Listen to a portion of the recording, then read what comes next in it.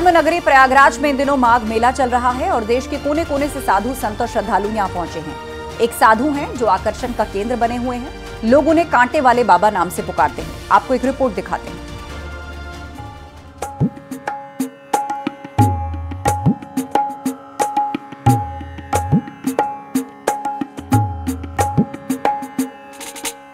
संगम की रेती पर इन दिनों माघ मेले की रौनक दिखाई दे रही है। माघ मेले में देश के कोने कोने से साधु संत पहुँच गए हैं, जो कठिन जप तप कर रहे हैं। माघ मेले में आए साधु संतों में कई ऐसे हैं, जो अपनी खास वेशभूषा और साधना के चलते चर्चा में बने हुए हैं। उन्हीं में से एक हैं, कांटे की सेज पर लेटे ये हठ योगी, जो माघ मेले में कौतूहल का विषय बने हुए हैं। लोग उनके पास आकर उनका आशीर्वाद लेते हैं। उन्हें कांटे वाले बाबा के नाम से पुकारते हैं।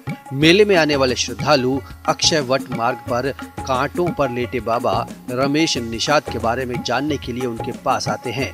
बड़ी संख्या में श्रद्धालु बाबा के पास खिचड़ी दान करते हैं तो वहीं कुछ श्रद्धालु चढ़ावा भी चढ़ा रहे हैं। कांटा चुभने मात्र से पीड़ा की अनुभूति होने लगती है, लेकिन बाबा तो कांटों की सेज पर लेटे हुए हैं। और यही बात उन्हें सबसे अलग बनाती है। लोगों का मानना है कि इस तरह की कठिन साधना करने वाले बाबा माघ मेले में कम ही देखने को मिलते हैं।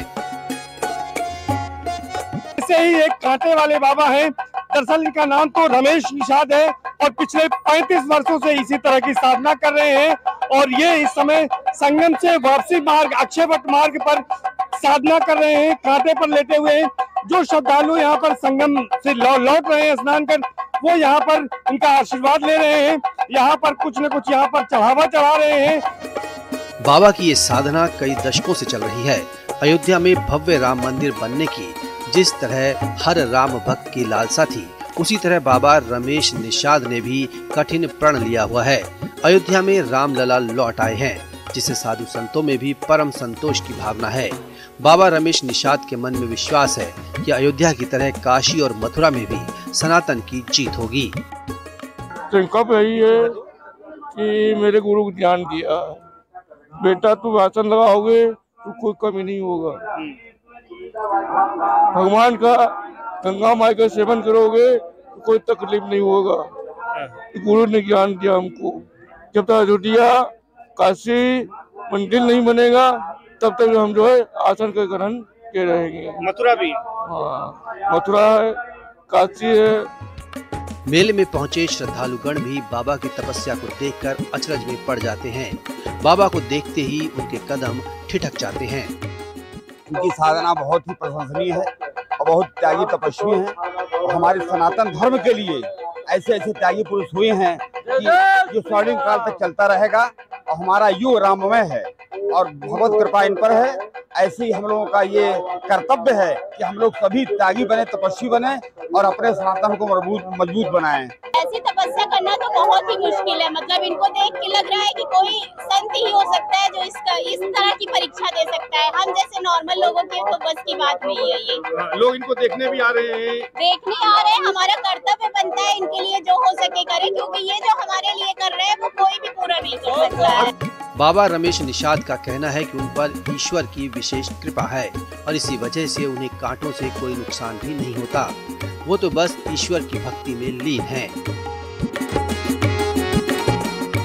प्रयागराज से न्यूज़ 18 के लिए सर्वेश दुबे की रिपोर्ट। यूपी विधानसभा में आम सहमति से लिफ्ट और एस्केलेटर विधेयक पास हो गया है और इसके तहत में सख्त नियम बनाए गए हैं जो लोगों की सुरक्षा के लिए बेहद ही कारगर साबित होंगे। एक रिपोर्ट आपको दिखाऊँ सच बताऊँ तो हमने अपने विभाग से पूछा कि वर्तमान में कितनी लिफ्ट अपने राज्य में चल रही होगी। कोई आंकड़ा नहीं।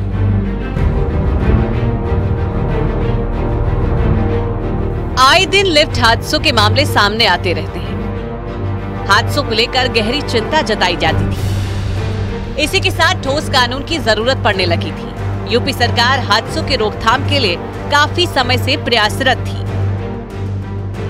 योगी सरकार ने लिफ्ट में लोगों की सुरक्षा और रखरखाव के लिए कानून बनाने के निर्देश दिए थे। और अब जाकर उत्तर प्रदेश की विधानसभा ने लिफ्ट एंड एस्केलेटर बिल को पास कर दिया है। इसके तहत कई सख्त नियम बनाए गए हैं। शुक्रवार को उत्तर प्रदेश के ऊर्जा मंत्री अरविंद कुमार शर्मा ने सदन में लिफ्ट विधेयक पेश किया। इस विधेयक को पूरे सदन ने सर्वसम्मति से पास कर दिया गया। उत्तर प्रदेश लिफ्ट एवं एक्सकेलेटर विधेयक 2024 को एक प्रवर समिति के सुपुर्द कर दिया जाए।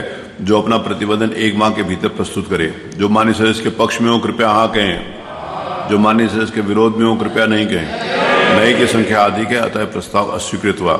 प्रश्न यह है कि उत्तर प्रदेश लिफ्ट और एक्सकेलेटर विधेयक 2024 पर विचार किया जाए। जो मान्य सदस्य के पक्ष में हो, कृपया हाँ कहें। जो मान्य सदस्य के विरोध में हो, कृपया नहीं कहें। हाँ की संख्या अधिक है, अतः प्रस्ताव स्वीकृत हुआ। इस एक्ट के मुताबिक घरेलू लिफ्ट को छोड़कर बाकी सभी जगहों पर लिफ्ट ऑपरेटर रखना अनिवार्य होगा। अब से उत्तर प्रदेश में किसी भी बहुमंजिला बिल्डिंग में लिफ्ट या एस्केलेटर लगाने के लिए इजाज़त लेनी होगी और विद्युत सुरक्षा निर्देशालय में रजिस्ट्रेशन करवाना होगा। नए नियमों के मुताबिक थर्ड पार्टी इंश्योरेंस करवाना ऑटो रेस्क्यू डिवाइस लगाना ज़रूरी होगा। जो यहाँ बात हुई कि कितने एक्सीडेंट हुए, कितने लोग मरे पहली बात तो ये कि कितने मरे, सौ मरे या एक मरे, दोनों ही उतना ही महत्वपूर्ण है, दोनों ही जीवन जो है, उतना ही वैल्यूएबल होता है तो इसमें न पड़ा जाए। दूसरी बात कि चूँकि ये अधिनियम हमारे पास नहीं है, इसलिए हमें सच बताऊँ तो हमने अपने विभाग से पूछा कि वर्तमान में कितनी लिफ्ट अपने राज्य में चल रही होगी। कोई आंकड़ा नहीं। है कितने एक्सीडेंट हुए, शायद उसका भी कोई स्पेसिफिक हमारे पास आंकड़ा नहीं होगा। पुलिस स्टेशन पुलिस स्टेशन हमें जा करके इकट्ठा करना पड़ेगा। तो इसीलिए आवश्यक है माननीय अध्यक्ष जी अधिनियम कि कम से कम जहाँ लिफ्ट लगती है, वहाँ उस व्यक्ति को एक निश्चित अधिकारी को बता देना आवश्यक माना जाएगा। रजिस्ट्रेशन उसका आवश्यक माना जाएगा। नोएडा, गाजियाबाद जैसे बड़े शहरों की बहुमंजिला इमारतों में आए दिन लिफ्ट में हो रहे हादसों को लेकर हर तरफ़ से चिंता जताई जा रही थी। नियम के मुताबिक अब जो लिफ्ट लगेगी, उसमें ऑटो रेस्क्यू डिवाइस लगा होगा। अगर बिजली या तकनीकी खराबी होने की वजह से लिफ्ट रुक जाती है तो नजदीकी फ्लोर पर अपने आप आकर दरवाज़ा खुल जाएगा। जो सेक्शन 12 सात है, उसकी निचली दो लाइनें अगर आप पढ़ेंगे तो उसमें बीमा का पूरी रूप से उल्लेख किया गया है। और तीसरी और अंतिम बात माननीय माननीय अध्यक्ष जी ये है कि इसमें बहुत सारी बातें ऐसी हैं और बहुत सारी चीज़ें ऐसी हैं, जैसे आपने कहा कि बहुमंजिला बिल्डिंग है, बिल्डर ने बनाया लोगों को बेच दिया, बिल्डर अपना भाग गया तो किसी न किसी की ज़िम्मेदारी तो सुनिश्चित करनी पड़ेगी। ये आवश्यकता इसलिए अधिनियम की है कि हम वो ज़िम्मेदारी सुनिश्चित करने के लिए आपने, शायद पढ़ा नहीं, लेकिन हमारे, हमने ऑलरेडी ये कहा हुआ है कि जो और बारीकियाँ हैं, जो और डिटेलिंग जिसको कहते हैं, वो हमारे नियमों में आएगी। उत्तर प्रदेश में लिफ्ट एक्ट लागू होने के बाद सबसे बड़ा फ़ायदा गौतम बुद्ध नगर और गाजियाबाद ज़िले के लोगों को मिलेगा। गाजियाबाद के साथ नोएडा और ग्रेटर नोएडा की सैकड़ों हाउसिंग सोसाइटी में हज़ारों की संख्या में लिफ्ट लगी हुई है, जिसके रखरखाव को लेकर कोई नियम नहीं है।